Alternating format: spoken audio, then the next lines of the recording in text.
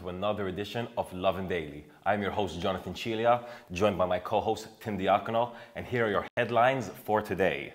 Hundreds call for justice in Valletta protest amid fresh scandals. Schembri te- testifies about 17 Black in Daphne Caruana Galizia case.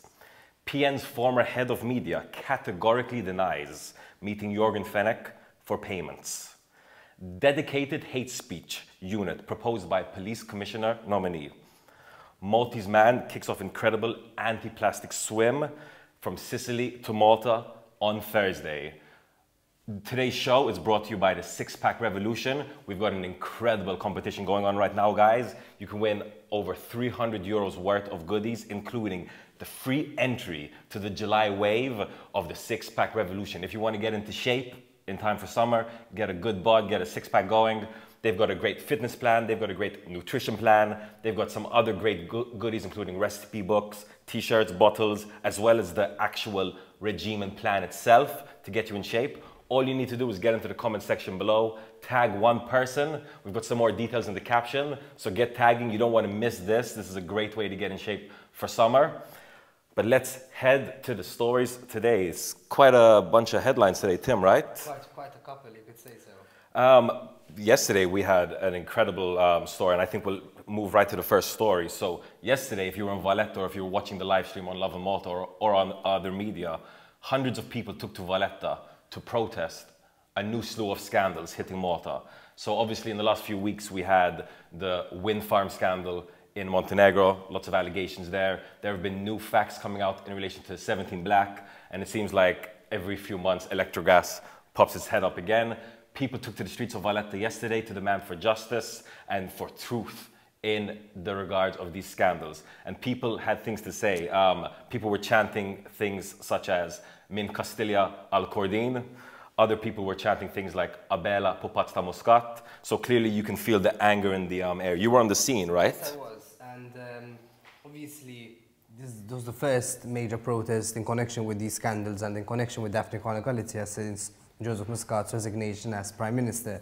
Now, these protests have continued despite him having resigned. And I think what that shows is that this was never just about politics. This was never just about getting Joseph Muscat to resign um, as Prime Minister and getting you know, other people who they prefer into power, but it's also about justice, and that also means criminal justice, and that means that people, you know, who were involved in a murder, who were involved in large-scale corruption, should answer for their crimes and should answer for them in court, because they are crimes. That's exactly it. And I mean, obviously, this is the first protest of this type we've, that we've seen in months. Obviously, we've had the COVID pandemic. I know there were some smaller protests in recent weeks. Um, yes, um, there were a couple of just a couple of people protesting outside the minister's, um, you know, ministry, but this was the first, I mean, it, to be fair, it wasn't as large as the November ones where there was widespread public anger, mm. but then again, one could also argue that, that people only given 24 hours notice before this one. So um, it is definitely a sign to the government that, you know, people are not, um, you know, not, are not ready to just forget about everything that's happened in the past. That's exactly it. And I think actually um, this leads on to the second story, especially what we were hearing in court yesterday. It might lead yes. to some more protests in the coming weeks. yes. So uh, obviously, um, if you were following um, the news at all yesterday, you know that Keith Schembri testified in, in court in the police's case against Yorgen Fenech.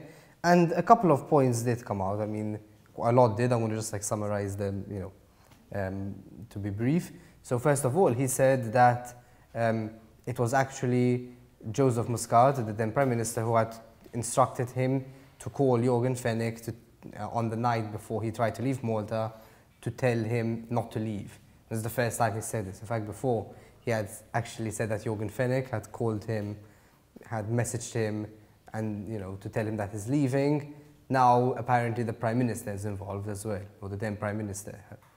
Um, oh. Secondly, he had, um, you know, for the first time, um, you know, ever, Keith Schembri confirmed that there were that he did have very um, detailed business plans with 17 Black, which is of course Yorgen Fenech's company. So after spending, you know, a long time, years, dodging questions, evading, um, questions about this topic, he finally confirmed that he, he did indeed um, plan to do business with 17 Black. The reason being that you know Yorgen Fenech was a respected businessman, and he wanted a post-political business career with him in, in food and gaming. Wow.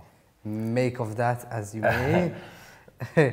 and um, he also he also spoke a lot about this famous ranch, right, of, of Yorgen Fenech. the famous ranch. Yes, and that's basically where he used to wine and dine, um, you know, people in positions of power, people in positions in positions of um, influence.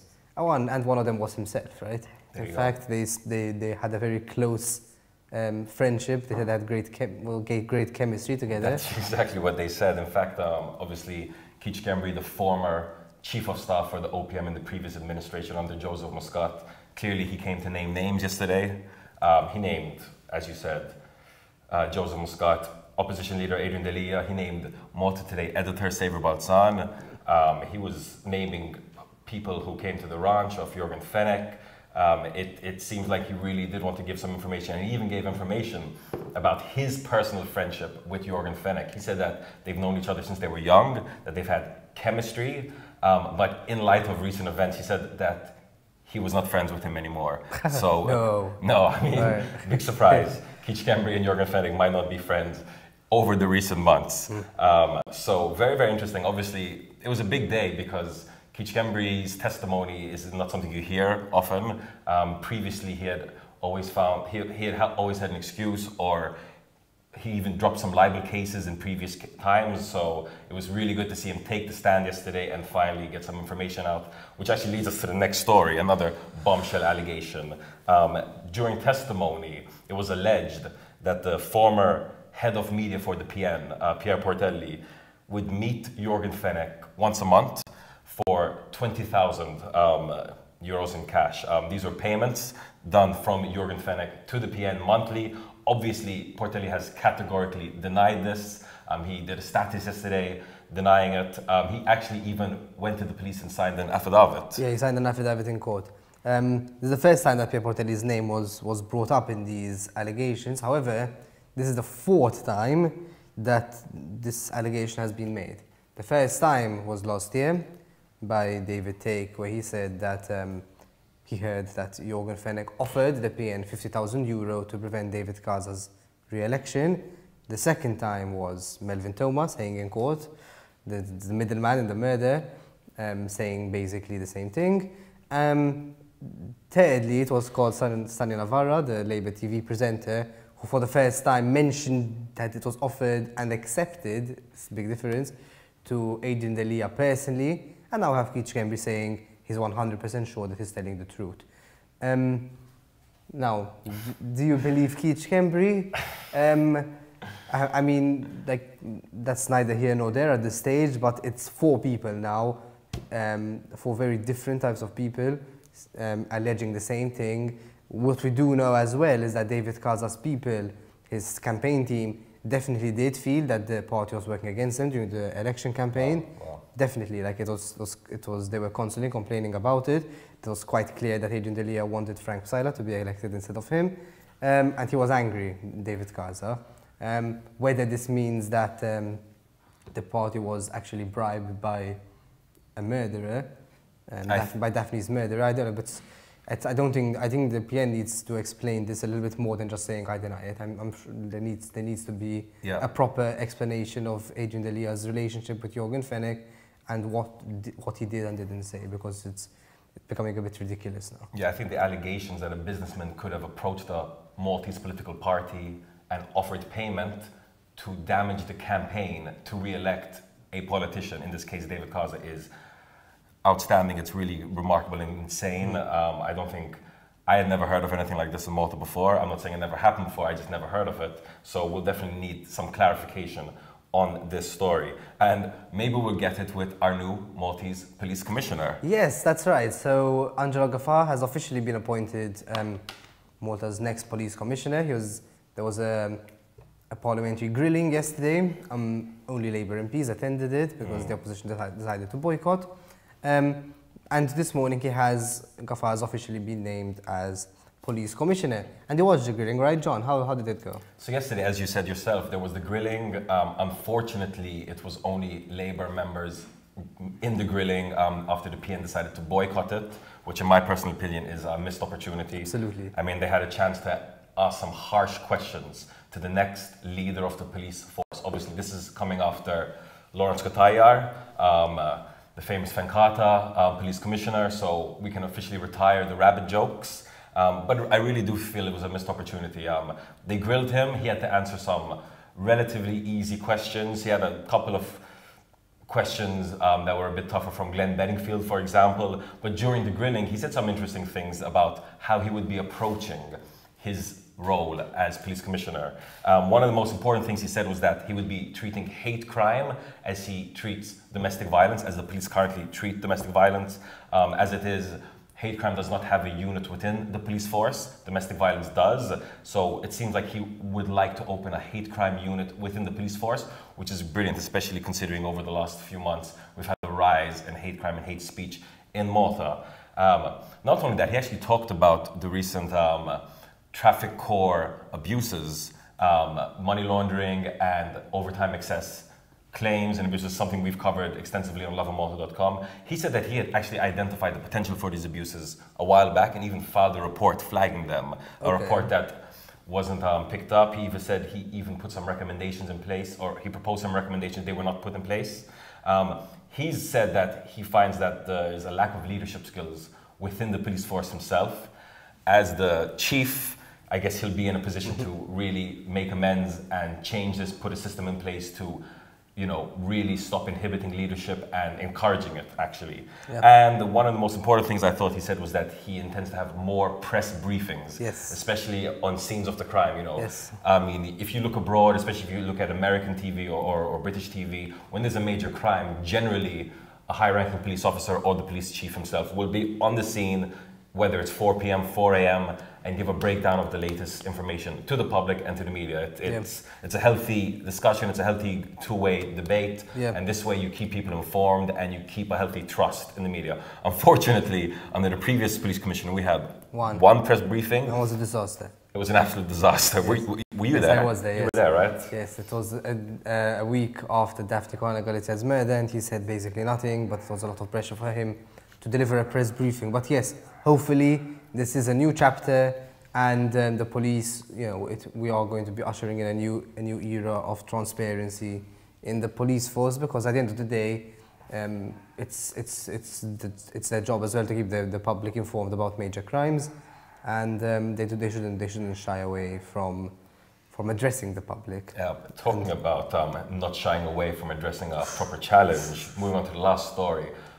This guy's crazy. So I don't know if you know this guy, Neil Agius, um, Maltese man, Maltese legend, Maltese swimmer. Um, he will be swimming from Sicily to Malta this Thursday. Um, that's over 130 kilometers um, to highlight the problem we have with plastic in our oceans. So this is part of the campaign Wave for Change. Um, they're trying to draw and really raise awareness to what we're doing in our oceans. Obviously, we've covered this extensively on Lovin Malta, and I'm, I'm sure you're aware, but if you are not, plastic is super damaging to wildlife, especially marine life. I mean, we've all seen videos and pictures of turtles um, choking on pieces of plastic, etc., etc. Neil Agius wants that to change. He's swimming from Sicily to Malta to raise awareness. He's leaving from Pozzallo um, this Thursday, and he should be arriving the next day in Sliema in Malta um, on Friday. So, So wow. 24 hours. 24 hours, a bit less than 24 hours. That's incredible. I mean, I mean, listen, I love swimming. I, I love to dive, but I don't know if I could swim from Sicily to Malta, no matter what the cause was. No, I, I, I mean, good luck to Neil. Um, obviously, he's done, he's, he's, he's quite experienced in these types of swims. He's swum around Gozo before. Um, but this is going to literally be swimming from uh, um, one country to another. That's if I'm mistaken, he's going to be the second person in Maltese history to, to you know, to, to swim from Sicily to Malta. The first is the 1980s. Wow. So we might be seeing a little bit of history made um, this, this, coming, this coming Thursday. So stay tuned to lovinmalta.com and uh, we'll be following, we'll, keeping, we'll be keeping you updated with um, Neil's journey um, in, in his naval journey. That's exactly it. Super exciting. Um, I think that brings us to the end of today's episode. Quick reminder we've got that super competition going on, Six Pack Revolution. Get in shape this summer. These guys have a great fitness plan, a great nutrition plan. They want to help you get in shape. They've got the plan for you in July. Get into the comment section below, tag one person, and you could be in with a chance to win free entry and access to the July wave of the Six Pack Revolution, aside from some other great prizes. So get tagging below. Um, and until tomorrow, have a day full of loving.